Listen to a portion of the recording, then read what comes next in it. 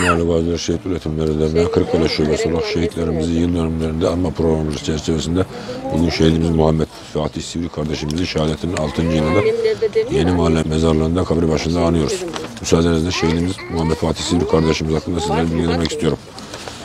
Şehidimiz Muhammed Fatih Sivri 5 Aralık 1991 tarihinde ilimizde dünyaya gelmiş ilk ve orta öğrenimini 1997-2004 tarihleri arasında Kırıkkale Milli Eğitim Vakfı İlköğretim Okulu'nda lise öğrenimini 2005-2009 tarihleri arasında Yıldırım Beyazıt Anadolu Lisesi'nde tamamlamış. 2011-2013 tarihleri arası İzmir Rüştü Ünsal Polis Meslek Yüksek Okulu'ndan mezun olarak İstanbul İl Emniyet Müdürlüğü emrinde polis memuru olarak görevine başlamıştır. Şehidimiz Muhammed Fatih Sivri 26 Haziran 2015 tarihinde İstanbul Gazi Mahallesi'nde bölücü terör örgütleri ile çıkan çatışma sonucu devletimizin bölünmez büt- bütünlüğünü koruma uğruna şehitlik mertebesine ulaşmıştır.